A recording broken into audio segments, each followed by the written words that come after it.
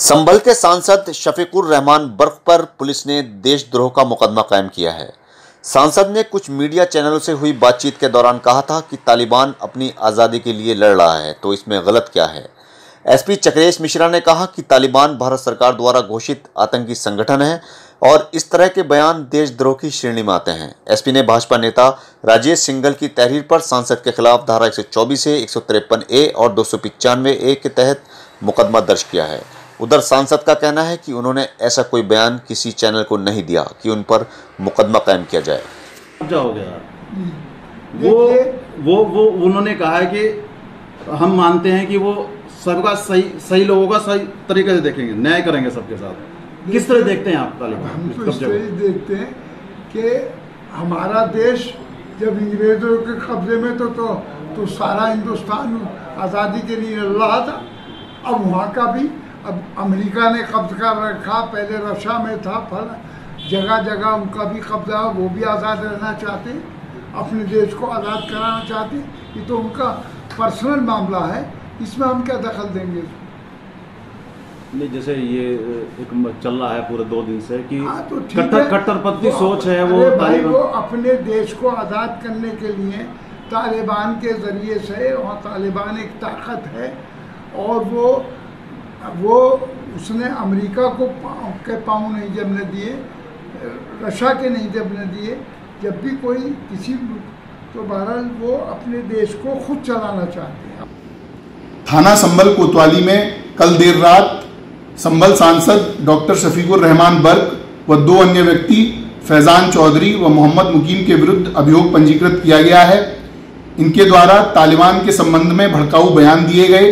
एक प्राइवेट व्यक्ति श्री राजेश सिंघल द्वारा लिखित तहरीर देकर यह बताया गया कि डॉक्टर बर्क द्वारा एक मीडिया ब्रीफिंग में तालिबान की तुलना भारत के स्वाधीनता सेनानियों के साथ की गई तथा उसकी जीत पर खुशी मनाई गई। ज्ञातव्य हो कि तालिबान भारत सरकार द्वारा घोषित एक आतंकवादी संगठन है।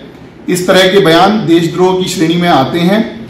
अतः उपरोक्त लिखित तहरीर के आधार पर उपरोक्त तीनों व्यक्तियों के विरुद्ध धारा 124 ए, एक ए व दो ए आईपीसी के अंतर्गत अभियोग पंजीकृत किया जा रहा है। अन्य दो व्यक्तियों द्वारा फेसबुक पर इसी प्रकार के बयान दिए गए। उनके विरुद्ध भी इसी एफआईआर में अभियोग पंजीकृत किया गया है। समस्त साक्ष्य संकलन के साथ में वैधानिक कार्यवाही की जा रही है। देशद्रोह के बारे में इस तरह की बयानबाजी करने वाले व्यक्तियों अथवा सोशल मीडिया पर इस तरह की पोस्ट शेयर करने वालों के विरुद्ध कड़ी से कड़ी कार्रवाई संबल पुलिस द्वारा की जाएगी। धन्यवाद। संबल पुलिस ने एक मुकदमा दर्ज किया है। जिसमें कहा गया है, आपने अपने बयान में तालिबान संगठन आतंकी संगठन का भारत सरकार द्वारा जो घोषित किया गया है, उसमें आपने उसका बचाव किया है और स्वतंत्र सेनानियों से उसका कंपेयर किया है। मैंने ऐसा कोई बयान नहीं दिया है, बिल्कुल गलत है। जो मैंने कहा था, ये अल्फाज कहे थे जब मुझसे उन्होंने सवाल किया। मैंने कहा, मुझसे क्या ताल्लुक? वहाँ के उस मुल्क से या तालिबान से मुझसे क्या ताल्लुक? मैं इस सिलसिले में कोई कुछ बात नहीं कह सकता। मैं कि मेरे मुल्क की जो पॉलिसी होगी, अपने मुल्क के साथ में। बस ये ये बयान दिया तो इसमें मैंने क्या जुर्म कर दिया, मैंने तो मना कर दिया उनसे मैंने कि तालिबान से मेरा कोई ताल्लुक नहीं, कोई वास्ता नहीं, मैं वहाँ का रहने वाला नहीं।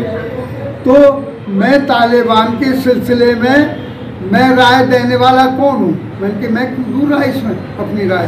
मैंने कि मैं अपने मुल्क के साथ हूँ मुल्क की जो पॉलिसी बनेगी ये जो होगा मैं मुल्क के साथ हूँ। ये ये तोड़ मोड़ का मेरा बयान गलत बयान बयान किया गया। अब इस इस मामले में आप पर मुकदमा दर्ज किया गया है। तो मुकदमा दर्ज कर लें तो अ, लेकिन मुकदमा सच्चाई पर चलाएँगे या या ये ये ये जो झूठा मेरे खिलाफ इल्ज़ाम लगाया जा रहा है ये बिल्कुल गलत है इल्ज़ाम मेरे खिलाफ। मैंने कोई बयान ऐसा नहीं दिया। मैं ना तालिबान के साथ हूँ मैं ना उनको अप्रिशिएट करता हूँ ना उनसे मुझे कोई मतलब है गलत है वहाँ की पॉलिसी मैं हिंदुस्तान में रहता हूँ हिंदुस्तान की, कि मुल्क की पॉलिसी से मुझे मुझे मतलब है। यानी कि आपने जो बयान दिया था जो चला है तो उस बयान से आप अपने जो है मुकर रहे हैं। हाँ बिल्कुल। ये नहीं किया मैंने बयान। इन्होंने, मैंने ये कहा भी कि मुझसे क्यों पूछ रहे हो? मैं मैं इसमें कोई बयान नहीं दूँगा। ना मेरा मतलब है कोई तालिबान से, ना मैं उनका कोई कर रहा, ये उनके मुल्क, मुल्की मामला है। हर मुल्क के अंदर वही तब्दीलियाँ होती रहती हैं इनकलाबात आते रहते हैं तो मुल्क जाने। इसमें, अब मैं मैं मुल्क का एक एक बाशिंदा हूँ, एक शहरी हूँ, लेकिन इसमें मेरा मुल्क जो पॉलिसी तय करेगा, मैं उसके साथ हूँ। कोई पॉलिसी आएगी तो अभी कोई कोई उनसे हमारे मुल्क से कोई झगड़ा ना हो रहा, कुछ ना हो रहा। ना हमारे मुल्क से अभी कोई मतलब है उनसे। तो ये तो एक अलहदा जो तालिबान है, अफ़गानिस्तान है तो ये उनका घर में का अपना ज़ाती झगड़ा है।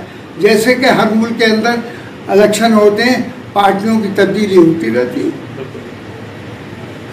तो मैं तो उस पर भी कोई तबसरा नहीं कर रहा, भाई, उनसे, मुझे मतलब क्या मुझसे जब मैं वहाँ रहता नहीं, रहने वाला नहीं, मैं वोटर नहीं वहाँ का मैं तो हिंदुस्तान का वोटर हूँ, हिंदुस्तानी हूँ।